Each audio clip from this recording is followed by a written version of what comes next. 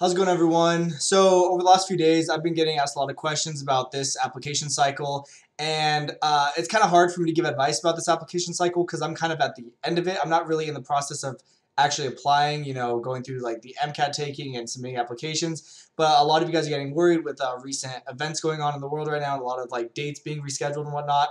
And uh, I've seen like you guys posting on Instagram about your MCATs being canceled and all that. But today I got an email and I kind of just wanted to make a video and share it with you guys in case you're not in case you haven't gotten this email. So I'm in the uh, the AACOMAS system because I had applied DO last year or I guess this cycle, and they sent out a really nice email today uh, talking about what they were going to be doing uh, in terms of their adaptations for this upcoming application cycle. Which a lot of you guys who are watching these videos are part of you know upcoming application cycles or this one coming up right now, and they sent out some really cool stuff. And I think eventually it's going to spread over to AMCAS, but I'll talk about that in a second. So right now, what they're saying is they're going to accept all pass, fail, satisfactory, unsatisfactory coursework, regardless of your school, if your school required this, including prereq coursework in the context of your entire academic history.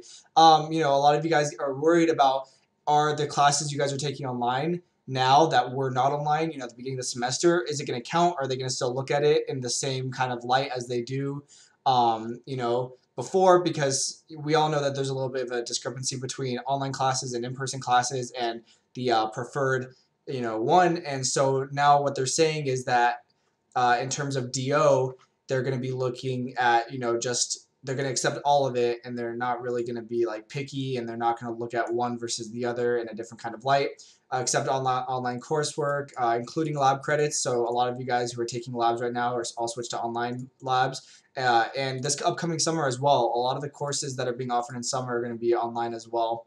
And so, yes, they're going to be accepting online lab credits. Review your application without all required laboratory coursework. If you can demonstrate that your institution was unable to provide these courses due to COVID 19, um, proof of completion later may be required. That's fine. You know, we know that you can have pending classes going on when you are applying to medical school. And basically what this is saying is if classes are not offered when you were expecting to take them then just show proof and that's you know that's easy you can just go onto your registration website or wherever you know where however you guys apply whatever portal and sign up for your classes just you know show screenshots or show some sort of proof that it was not available during that uh, session review your application and extend interview invitations prior to receiving your mcat score by evaluating experiences academic metrics and attributes attributes that you have demonstrated in your application. Uh, basically, what they're saying is um, that they're going to be looking at the rest of your application even without the MCAT score. Uh, previously, it was like you could, you know, go ahead, get your application processed without an MCAT score, and then submit your MCAT score after, and then you know they'll send it out. What they're saying now is they're going to be schools or DO schools are going to be sending out interview invitations and looking at your entire application without the MCAT score necessarily. Um, because they know a lot of you guys who were signed up for April, May uh, MCATs are going to be having them rescheduled and pushed off, and we don't know when. You know, you guys don't know when you guys are going to be able to take them because there's so many people that were already signed up for future MCATs, and now people with earlier MCATs are getting pushed out, and you know they have to accommodate all those students. Um, in some instances, our colleges will accept you without MCAT scores, but many will await required MCAT scores before extending an offer to join a class. This is a you know this is a big deal basically again like what i said is they're they're keeping it the same they're going to look at your entire application but they're not going to worry if you have a pending mcat score or a date coming up consider reducing the required number of healthcare experience hours and extracurricular experiences. Um, that's a big deal as well. A lot of you guys have reached out to me saying you're worried that you weren't able to get in with like a scribe job because of all this going on right now or you have been, not been able to do your like clinical experiences your research because it's hard to get in with volunteering. Uh, this addresses it. Most of our schools will continue to require a letter of recommendation from a physician. Right, that makes sense. So if you plan on taking uh, an MCAT exam, please ensure you are currently registered for an upcoming exam and indicate your planned MCAT date in your uh, AACOMAS. Um, we encourage you to apply early and ready. So what it's saying is, and this is what I think I've been getting a lot of questions about is like, what do I, when do I apply? What is my application timeline now? Do I, am I waiting? Do I wait? No, what they're saying is, at least for DO, for AACOMAS, go ahead and apply as if you were going to, you know, when all this stuff in the world isn't happening, you know, get your letters of rec, do your application, personal statement, do your extracurriculars, put it, everything on your application, put it all in there, right? Submit it when on the due dates. Don't don't worry about things that you weren't able to get done because of uh, current events because they are going to look past that. They're going to look at what you have now and they're going to evaluate you as a whole. And, you know, they understand, right? They know a lot of their applicants that are going to be coming into this upcoming cycle are in the same position as you. So don't feel like you're at a, too much of a disadvantage over someone else because a lot of people are in the same boat as you and they're making those accommodations and they're going to be um, making those adjustments. Um, and there's a lot of, you know, there's a lot of other stuff going on right here.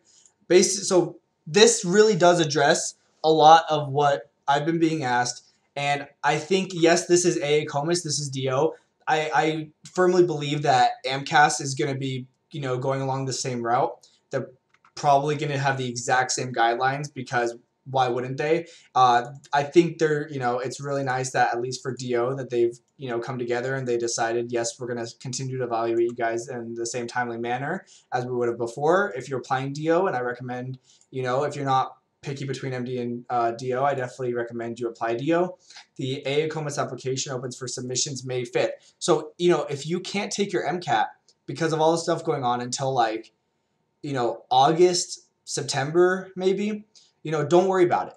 Still submit. Still submit early because you can. You're still gonna get processed. You're still gonna get sent out to schools. Uh, colleges beca- begin receiving applications for uh, this is this is AACOMAS, um, June fifteenth continue on with it, right? Uh, AMCAS, they've kept their dates um, for, you know, for May.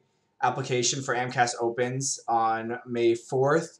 Uh, open for submission on May 28th. I explained all this in a previous video and process to schools on the 28th of June. Same thing. I think they're going to follow suit. I think they're going to go with the same guidelines.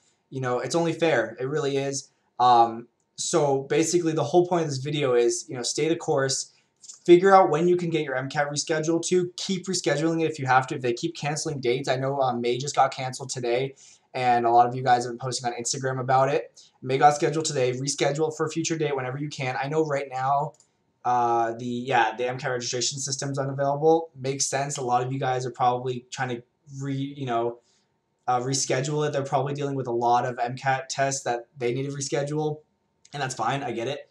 And so basically, the whole point of this video, again, is just to stay the course uh, with everything going on right now. You know, you you you can only do so much, and what AACOMAS is saying is that they understand that, and I think AMCAS is gonna say the same thing. Uh, you know, get your letters of recommendation. It's already April, start doing that now.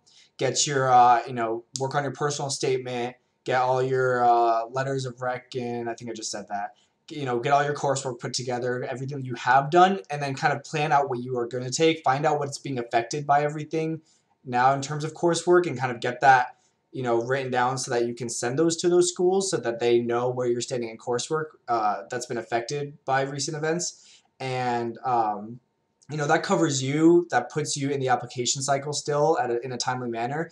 And I think, you know, it's going to be okay, right? Like, this is the medical field they understand the severity of what's going on right now. They understand how everyone's being affected. I don't think you guys are going to be too screwed over by any of this. Uh, I think they're going to make adjustments the you know they see that they see fit, and I think it's all going to work out just fine. Um, stay the course, you know, be early, and it's, it's all going to work out. I promise. Um, I'm going to try to stay updated on these kinds of things, uh, and I'll try to keep making more videos if more news comes out with more updates. But uh, for now, good luck to everyone who is applying this coming year. Uh, I believe in you. You're all going to get in and become great doctors. Uh, but yeah, for now, that's all I got. Thanks for watching. I'll see you guys next time.